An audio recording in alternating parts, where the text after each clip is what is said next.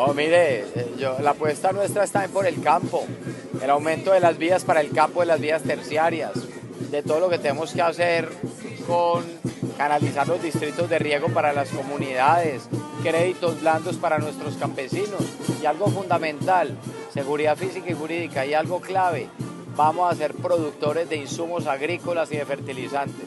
Es uno de los temas importantes y podemos ser una despensa agrícola para el mundo. Gracias.